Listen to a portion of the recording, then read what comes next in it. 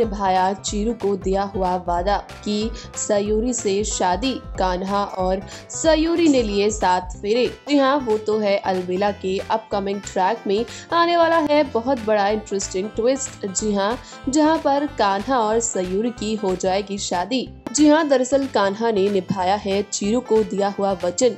जिसके चलते उसने करी है सयूरी से शादी। जी हाँ जहाँ अपकमिंग ट्रैक में आप देखेंगे कि अब कान्हा और सयूरी जो है, वो कैसे करेंगे अपनी शादीशुदा ज़िंदगी की शुरुआत? और क्या वो एक दूसरे को समझने में होंगे कामयाब? कल आप कितने एक्साइटेड हैं इस अपकमिंग ट्रैक को लेकर? हमें कमेंट सेक्शन में ज़रूर बताइएगा और इसी तरह की खबरों के लिए हमारे चैनल को सब्सक्राइब करना ना भूलें।